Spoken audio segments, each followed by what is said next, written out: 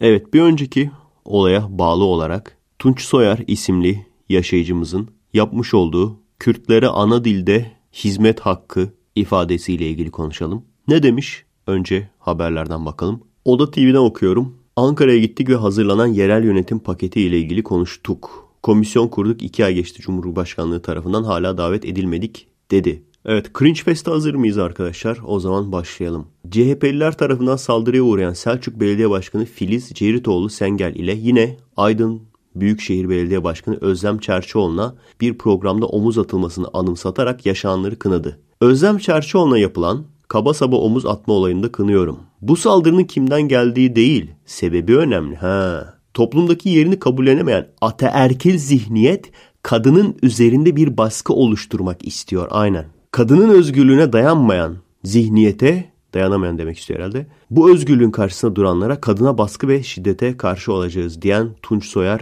şöyle konuştu. Soyer, Kürtçenin kamusal alanda da olması gerektiğini ifade ederek şöyle dedi. Türkiye'deki sorunların hemen hepsi, bak hemen hepsi, Türkiye'deki sorunların hemen hepsi geniş uzlaşmalar üretmeden çözülemeyecek noktalara gelmiş durumda. Bu sebeple demokrasiyi sadece seçimlerden ibaret gören anlayışı yapacağımız uygulamalarla değiştirmek, yerel siyasetin ve onun temsilcileri olarak bizlerin en temel görevlerinden biri olarak karşımıza çıkıyor.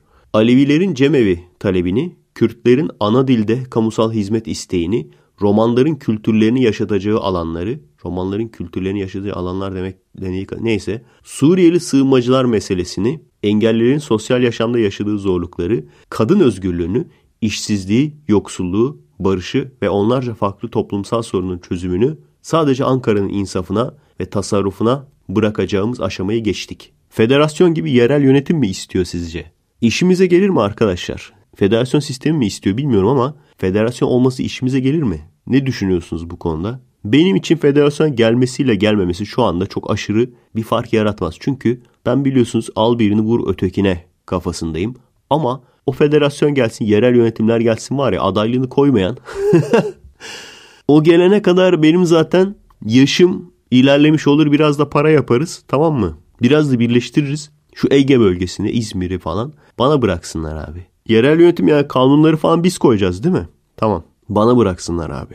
Eğitim sisteminden, ceza sisteminden, ekonomik sistemine kadar bana bırakın abi. Kürtlerin kamuda ana dilde hizmet talebi ne demek bunu? Niye açıklamıyorsun? Çünkü bu birçok anlama gelebilir. Ana dilde hizmet talebi mesela eğitim hizmeti. Kürtçe kursunun açılması ayrı bir şey. Kürtçe tabela yapmak ya da yani açıkçası gerçekten anlayamadım ne istediğini. İşin ilginç yanı şu. Söylediğin hiçbir şey anlamadım. Bence şunu diyorsun. Böyle böyle böyle böyle azınlıklar var ben bunların hepsini yalıyorum. Seni de yalıyorum. Seni de yalıyorum, seni de yalıyorum, seni de yalıyorum ama bir şey de yapmayacağım. Yani aslında Tunç Soyer tehlikesi, şunu yapacak, bunu yapmayı planlıyor gibi bir şey düşünmüyorum. Bazı arkadaşlar bunu düşünüyor. Çünkü kendisinin Kürtçü olduğunu söylüyorlar. Yani Kürt ırkçısı olduğunu söylüyorlar.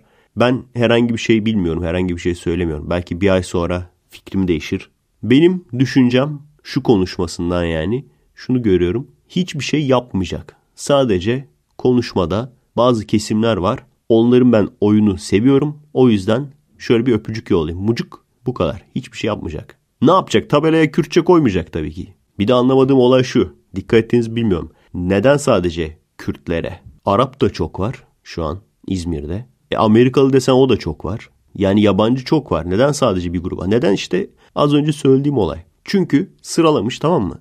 Kimleri yalacağız abi? Şunu yalacağız. Ondan sonra romanları yalacağız. Alevileri yalacağız. Feministleri yalacağız. Hepsi için güzel bir söz uyduralım. Normal şartlar altında çok umurumda olmazdı bu tür konuşmalar. Ama insanın şu zoruna gidiyor biliyor musun? İnternette açıyorsun kanalizasyon patlamış.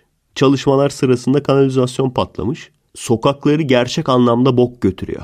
Saatlerce sokaklardan boklu su akıyor. Körfez bok olmuş. Ondan sonra başa geldiği zaman cicim aylarında ulaşımı indireceğiz dedi. Şimdi indirme dönemi geçti, bindirme dönemi başladı. 3'ten bir anda 3,5 liraya, 3.56. O 56'nın altısı ne anlama gele bilmiyorum da. Şok diye efsane zam yaptı yani. Ulan insan alıştırır biraz. Hiç mi öğrenmedin abilerinden? Alıştıra alıştıra. 3.10 yaparsın. 2 hafta sonra 3.15, 3.20 falan. Bu ne ya? Her pazar tramvay felç oluyor.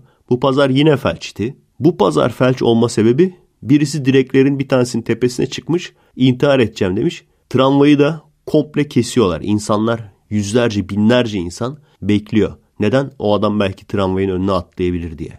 Bakıyorsun adamın çıktığı direklere merdiven gibi çok rahat çıkılabilecek bir şey. Belki bu hani talihsiz bir olaydır eyvallah ama sürekli bir sebep oluyor yani. Trafiğin içinden tramvay gidince sürekli bir sıkıntı oluyor. Bütün bunlar oluyor. Bakıyorsun belediye başkanı neler yapacak bunları önlemek için. Bakıyorsun işte Kürtçe hizmet vereceğiz. O zaman tramvay felç olduğunun Kürtçesini öğren önce. Önce onu öğren. Bir. İkincisi İzmir bok götürüyor'nun Kürtçesini öğren. Kanalizasyon patladığının Kürtçesini öğren. Bak sular kesiğin Kürtçesini öğren. O önemli. Kent kart zammında size kolumuzu sokuyoruz'un Kürtçesini öğren. O da önemli. Anlatabiliyor muyum? Bana koyan bu yani. Maşallah geldi birkaç ay içinde İzmir'i Avrupa şehri gibi Venedik gibi yaptı. İzmir Venedik oldu sayesinde. Başa gelir gelmez bakalım neyi değiştirecek, neyi geliştirecek diye bekliyorsun. İlk yaptığı olay LGBT anlaşması.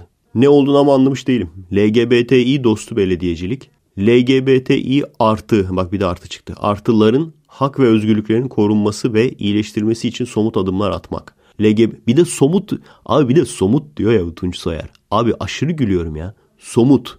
Nasıl adımlar atacaksın? Somut diyorsun. Ne yapacaksın peki? Ne yapılacak? Ee, işte işte e, somut adımlar atacağız. Tamam da ne yani somut ne? Kanun mu getireceksin mesela? LGBTİ'ye karşı yapılan zulümleri ne kanun mu ne yapacaksın? Başka ne yazmış? LGBTİ artı kapsayıcı politikalar oluşturmak. Hiç ya bari bak hepsini yap bari somut deme. Bekliyorsun bu çıkıyor. Kanalizasyon patlıyor. Tramvay felç oluyor. Sular kesiliyor. Bakıyorsun Kürtlere ana dilde hizmet. İyi peki abi. Bundan sonra Kürtlerin suyunu ana dilde kesersin. Ve maalesef biz bunu söylediğimiz zaman direkt refleks olarak insanlar AKP daha mı iyi? AKP şunu yapıyor. AKP'den bana ne? Sorun burada işte. Bak sorun burada işte.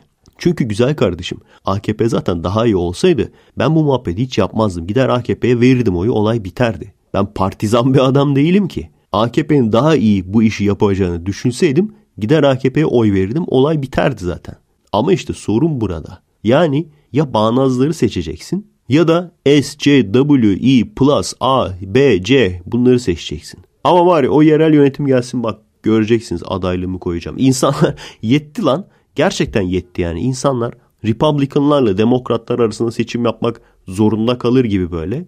Yobazlarla SJW'lar arasında seçim yapmak zorunda kalmamalı. Sağcılık, solculuk veya siyasi görüş olarak değil. Şunun şunun şunun oyunu da alayım. Onlara da işte bir öpücük yollayayım da onların da oyunu alayım mantığıyla değil. Çünkü iki tarafta yapıyor bunu. Kabul edin. Hangi partili olursanız onu kabul edin. İki tarafta yapıyor bunu. Bu değil çözüm üreterek, çözümle gelen insan. Umarız biri çıkar ya. Çünkü arkadaşlar herkes bakın. Herkes başkası çıksın istiyor. Neden? Hepimiz benciliz. Ben de başkası çıksın istiyorum. Neden? Çünkü başa geçen adam eşini, dostunu, akrabasını zengin edecek, kendini zengin edecek bir adam değilse eğer, iyi niyetli bir adamsa bu şu anlamı geliyor. O adam kendi hayatını feda ediyor. Yani şu işi yapmak kendi hayatını feda etmek. Gerçekten öyle. Şu işi dürüstçe yapmak yani. O yüzden dürüst insanlar bunu yapmak istemiyor. Çünkü herkes diyor ki ben niye kendimi feda edeceğim? Öyle. Bana verseler al sen geç dese benim filmcilik hayatım bitti. Birçok hayatım bitti yani. Birçok hayatım bitti yani. Birçok hayatım bitti.